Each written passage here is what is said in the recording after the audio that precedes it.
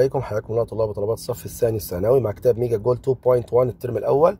ثانية ثانوي اللغة الانجليزيه مع قناة الإنجليزية بشكل مختلف ومعكم وحيد استقلال.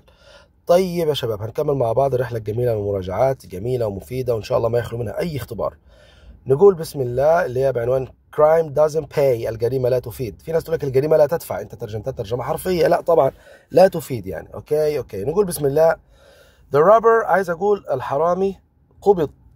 قبض عليه. إيش اللي عرفني إنها قبض عليه؟ إنه بيقول لي by the police يعني مبني للمجهول passive passive في الماضي was أو were والتصريف الثالث يبقى was arrested. Number two the criminal. المجرم سيتم إحضاره للعدالة قريبا. يبقى will be والتصريف الثالث يبقى will be brought. هذا المستقبل في حالة ال passive أو مبني المجهول 3 the suspect. suspect المشتبه به. ماشي. Pursued by a helicopter. Pursued يعني سيتم تعقبه. Was أو تم تعقبه was was aware زي التصريف الثالث مبني المجهول. The child kidnapped. خطف. الولد خطف. هقول has أو have زائد been. والتصريف الثالث للفعل ده قاعدة الباسيف المبني للمجهول في ال present perfect. The thief had escaped before. قاعدة before.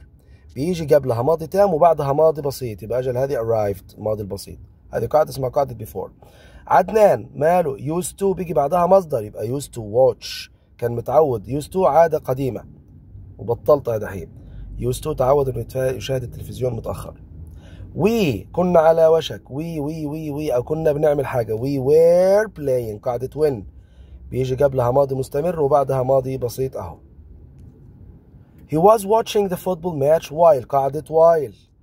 while إيه يا عم الحاج مالها دي؟ while بيجي يعني زمانين بيحصلوا مع بعض والفعل مختلف. بيقول هو كان بيتفرج على المباراة بينما أنا كنت قاعد آكل. يبقى while I was eating. هذه ما فيها interruption. عشان لا تقول أستاذ المفروض while قبلها ماضي بعد قبلها ماضي مستمر قبلها ماضي بسيط وبعدها مستمر. هذه لو كان فيها interruption يعني فعل قطع فعل. إنما هدول فعلين بيحصلوا مع بعض في نفس الوقت في الماضي. حصلوا مع بعض. حط P لو passive و A لو active. علي بروك A active. مبني للمعلوم. Was found passive مبني للمجهول. لما تلاقي was aware وتصريف ثالث مبني للمجهول. أو has been زي كده passive مبني للمجهول. إنما الفاعل في أول الجملة زي كده active. They stole هم اللي سرقوا السيارة. طيب صحح. I buy a new bar before. طبعا قاعدة before. هيجي قبلها. ماضي. تام قلنا وبعدها ماضي ماضي بسيط يبقى أقول I had bought. هذه توقعها تجيك اختياري. ما هتيجي كده مقالي. واللي بعدها ماضي بسيط يبقى before my brother boy bought one. قبل ما هو يشتري لي واحدة كنت أنا اشتريت واحدة. هذا ماضي بسيط وهذا ماضي تام. okay okay. While I هتقول was driving. While I was.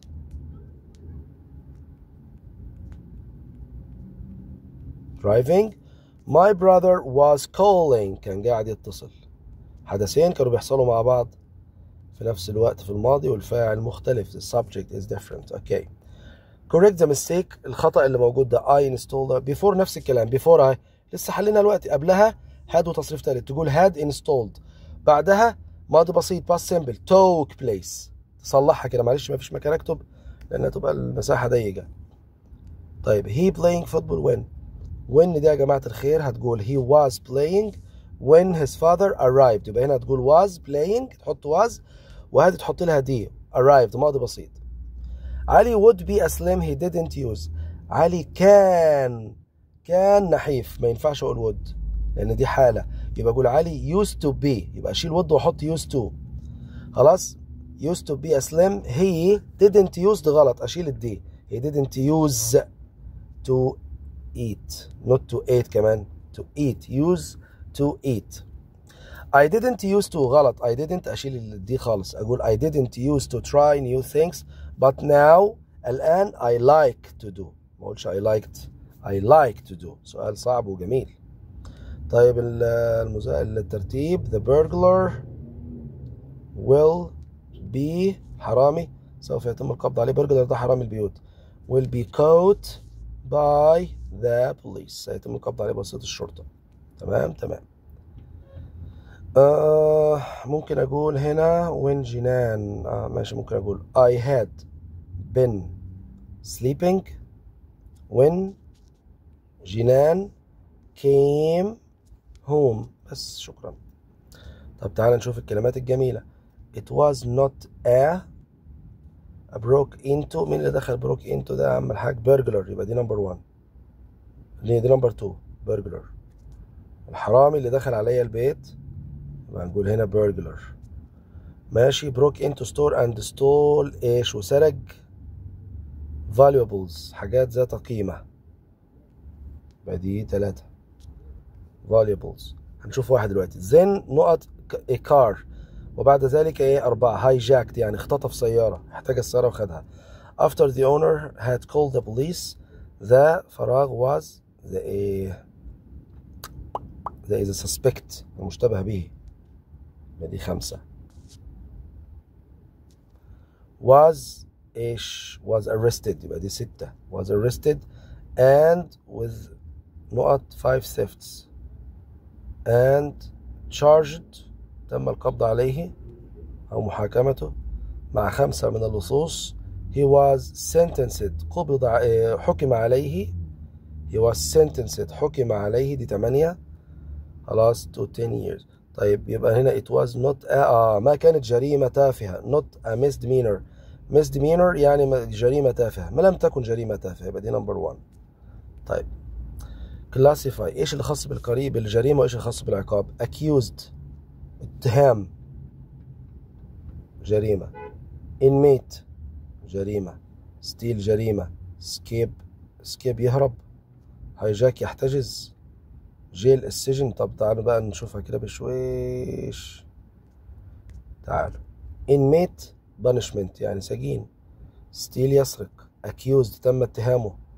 escape بيفجع. hijack. هذه برضو جريمة. jail العقاب. تمام يا شباب؟ كلمة ومعناها decline يعني يرفض refuse. unauthorized يعني بدون تصريح without permission.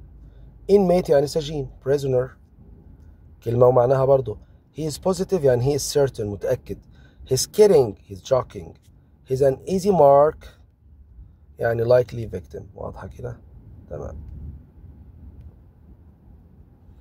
نقول to pickpocket pickpocket اللي هي بيسرق يبقى دي مثلا رقم اتنين اهي بيسرق victim الضحية رقم واحد thief رقم ثلاثة اللي هو اللص detective رقم أربعة المخبر. pickpocketed اللي اتسرق مين؟ اللي هو ده واحد. crime الجريمة برضو تعتبر اتنين.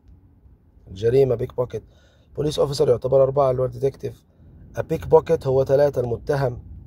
wallet هي المحفظة اللي هي رقم اتنين. يعني انت بتحط نفس الأرقام على الكلمات عشان تشوف إيش الكلمات هذه. كده إحنا خلصنا مراجعات.